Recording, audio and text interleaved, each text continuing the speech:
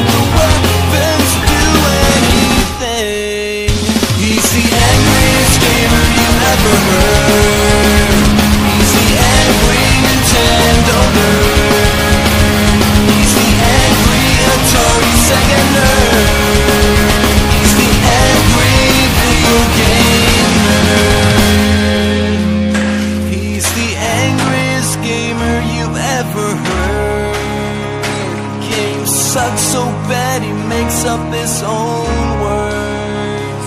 He's the angriest, most pissed off gaming nerd. He's the angriest.